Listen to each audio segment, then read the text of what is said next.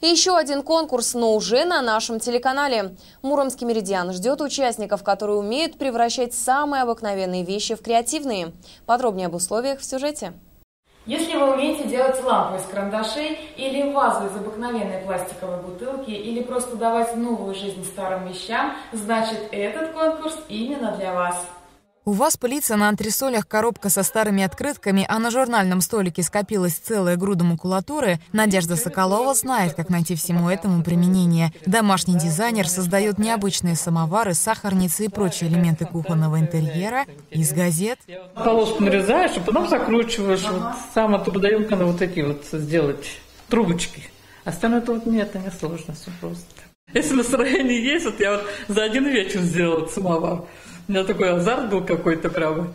Такое творение под силу любому, говорит рукодельница. Технику увидела в интернете в прошлом году. Все, что нужно для креатива, газеты, журналы, краска и немного усидчивости. Далее сворачиваем трубочки и переплетаем их друг с другом. В итоге получается вот такая фантастическая красота. Это коллекция украшений Комитета общественного самоуправления 5. Сделана она ко дню семьи, любви и верности. Есть поделки из макарон.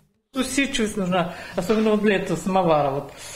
Э, Все-таки макароны, они надо их держать, когда приклеиваешь, а то бывает падают. Вот.